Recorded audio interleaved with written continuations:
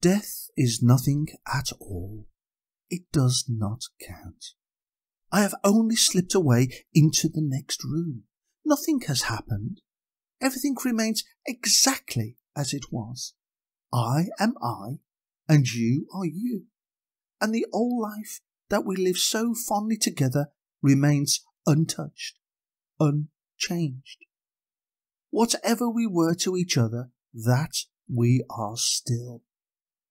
Call me by the old familiar name. Speak of me in the easy way which you always used. Put no difference into your tone. Wear no forced air of solemnity or sorrow. Laugh as we have always laughed at those little jokes that we enjoyed so much together. Play, smile, think of me, pray for me. Let my name be ever the household word that it always was. Let it be spoken without an effort, without the ghost of a shadow upon it. Life means all that it has ever meant.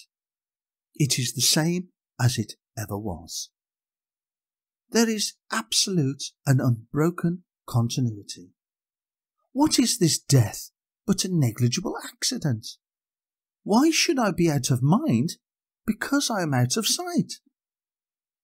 I am but waiting for you, my love, for an interval, somewhere very near, just round the corner. All is well.